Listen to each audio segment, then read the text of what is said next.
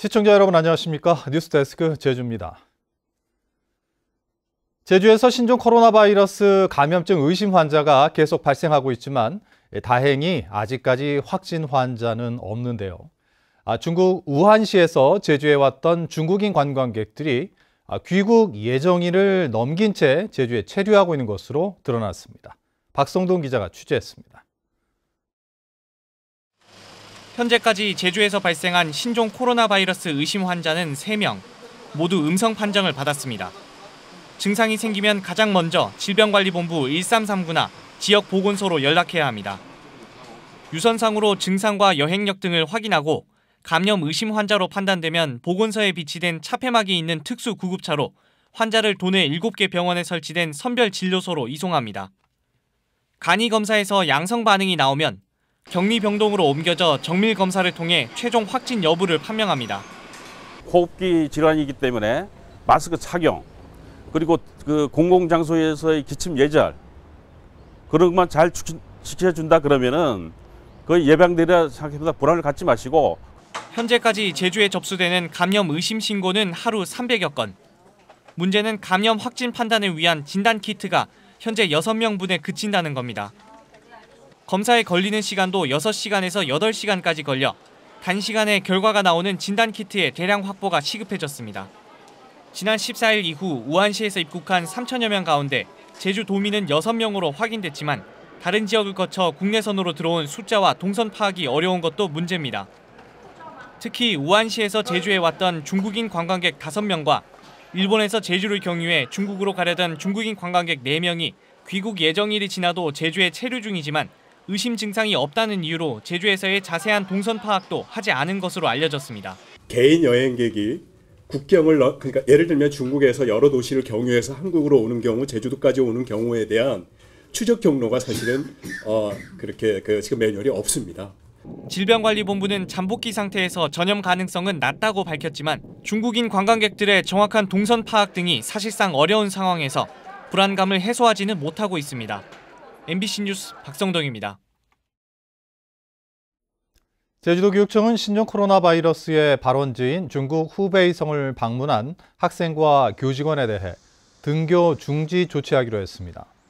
등교 중지는 신종 코로나 바이러스 잠복기인 14일로 각급 학교에서는 학생과 교직원을 상대로 방학 기간 중국 후베이성 방문 여부를 조사하고 있습니다. 아직 파악된 후베이성 방문 학생과 교직원은 없는 것으로 알려졌습니다. 신종 코로나 바이러스 감염증 확산에 중국인 관광객들의 여행 취소, 제주 여행 취소가 있다는 소식 어제 이 시간에 전해드렸는데요. 아, 중국인들이 주로 찾는 지역 상권도 급격히 얼어붙고 있습니다. 김항섭 기자의 보도입니다. 중국인 관광객들이 약국 안으로 쏟아져 들어오더니 마스크 진열대 앞으로 몰려갑니다. 한꺼번에 많은 양의 마스크를 구매하는 중국인 관광객들이 늘면서 약국에서는 아예 박스째 쌓아두고 판매하고 있습니다. 급하게 재고를 좀 확보하면서 그 판매량이 굉장히 많이 늘어나고 있습니다. 전체 판매량 80% 이상이 마스크로 보입니다. 대형 마트에서도 마스크 판매량이 평소의 10배 이상 늘면서 일시적으로 품절 현상이 나타나고 있습니다. 손님들이 이게 이제 저희 사무실을 방문해가지고 어 왜 마스크를 안 쓰고 계세요? 이렇게 하셔가지고 직원들 거랑 지금 저희 거랑 사러 왔거든요. 신종 코로나 바이러스에 대한 불안감 확산에 중국인들이 많이 찾는 지역 상권은 급격히 얼어붙고 있습니다. 하루 평균 500명 안팎의 외국인 관광객이 찾는 제주시 중앙로 지하상가는 부쩍 한산한 모습입니다. 춘절 연휴 특수를 기대했지만 신종 코로나 바이러스 소식에 중국인들로 붐비던 가게들은 점원만 자리를 지키고 있기 일쑤입니다. 앞으로는 좀 많이 줄 것 같아요. 많이 걱정되죠, 당연히. 당연히 저희는 여기에서 여기 지하상가 자체가 외국인 상권이기도 하고 누에모르 거리도 사정은 비슷합니다. 사드 사태로 어려움을 겪다 지난해부터 서서히 회복세를 보이면서 다시 활기를 띠는 듯 했지만 최근 며칠 사이 손님이 절반 이상 급감했습니다. 중국이 사실상 해외여행을 금지하면서 설 연휴 기간 제주를 찾은 중국인 관광객은 9천여 명으로 예상보다 40%나 감소했습니다. 지금 완전 적자잖아요. 아예 매출들이 없으니까 월급도 나가기 힘들고 아예 너무 힘든 상황이죠. 가뜩이나 경기 침체 속에 신종 코로나 바이러스 감염증 사태가 장기화될까 상인들의 우려가 커지고 있습니다. MBC 뉴스 김항섭입니다.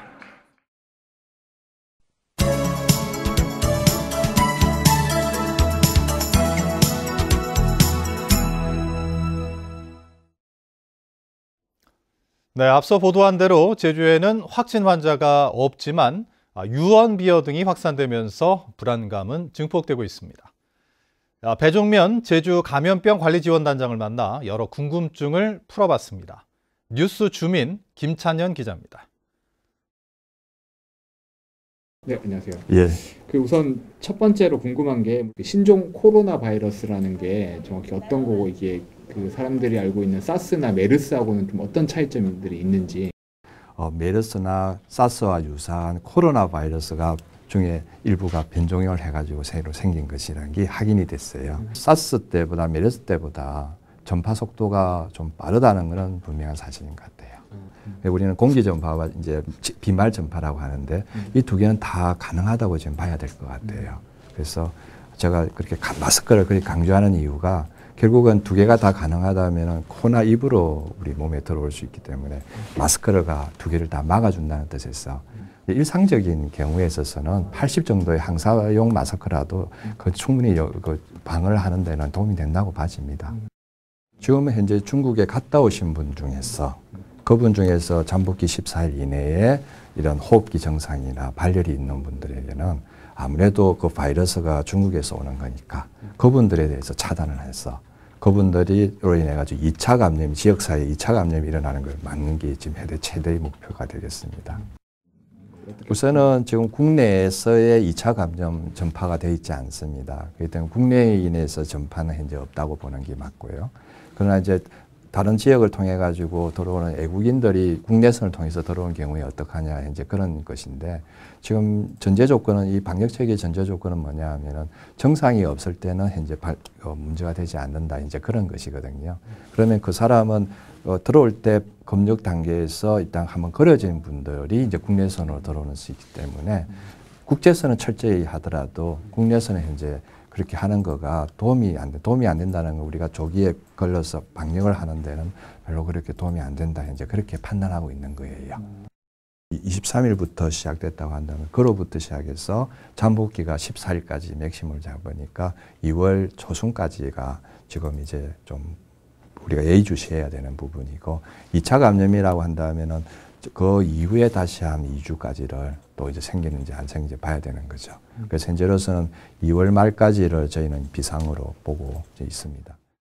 개인의 불안감에 의해서 전화를 하시기보다는 현재 단계는 중국에 갔다 오셨던 걸 가- 하신 분 중에서 14일 이내에 임상 증상이 있으신 분들만 좀 전화를 해 주셔서 그분들이 신속하게 대응을 받을 수 있게 좀 해 주셨으면 좋겠어요. 제주 산지에 대설주의보가 발효되는 등 아, 내일까지 많은 눈이 예상됩니다. 오늘 제주는 약한 기압골의 영향으로 구름 많은 가운데 한라산 진달래밭과 윗세오름에는 10cm 안팎의 눈이 쌓였습니다. 눈은 내일까지 산지를 중심으로 3에서 10cm가량 더 오겠고 해안에는 5에서 20mm가량 비가 내리겠습니다. 기상청은 산지를 중심으로 안개가 껴 가시거리가 짧겠고 산간 도로는 결빙되는 곳도 있어 주의를 당부했습니다. 제주의 오름은 어디를 오르든 색다른 매력과 풍광이 있어서 관광객과 도민들이 많이 찾고 있는데요. 하지만 탐방객 증가로 인한 오름 훼손이 안전시설 방치라는 악순환으로 이어지고 있습니다. 시청자 제보 뉴스 이소영 기자입니다. 산방산과 이웃해 있으면서 능선이 낮아 탐방객이 즐겨 찾는 단산. 오름 급경사지 안전한 탐방을 위해 난간 겸 손잡이 용도로 쳐놓은 밧줄이 맥없이 쓰러졌습니다.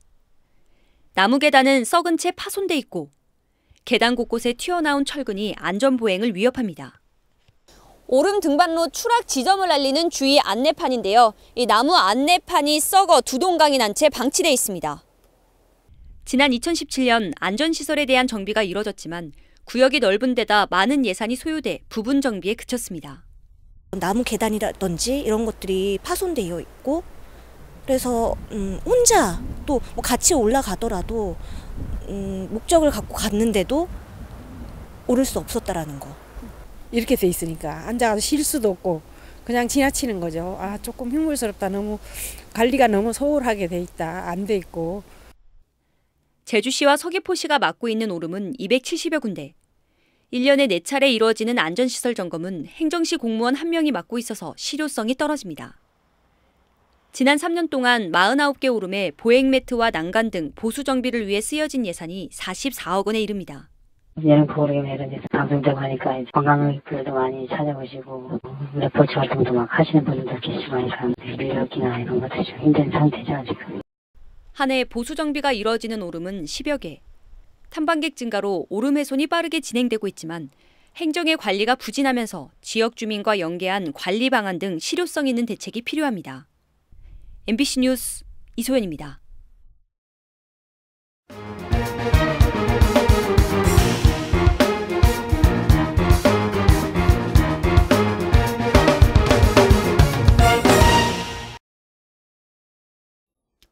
민주노총 제주본부는 도민의 방에서 기자회견을 열어 2020 노동자 권리찾기 캠페인 돌입을 선언했습니다.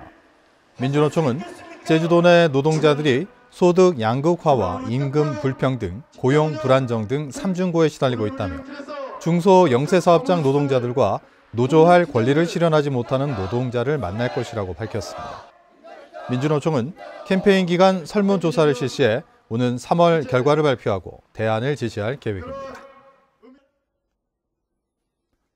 경찰이 설 연휴에 발생한 환경미화원 뺑소니 사망사고 용의자에 대해 구속영장을 신청했습니다.